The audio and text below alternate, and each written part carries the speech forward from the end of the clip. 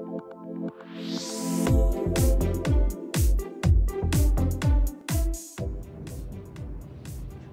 子スキンシップサークル今井りんごです。季節の手遊びを紹介します。雪が降ってきた。チャチャチャ。外は真っ白け。チャチャチャ。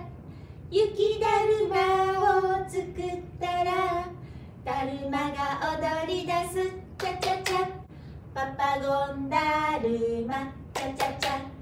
ママゴンダルマチャチャチャ。ちびゴンダルマも仲間入り。みんなで踊り出すチャチャチャ。みんなもやってみてください。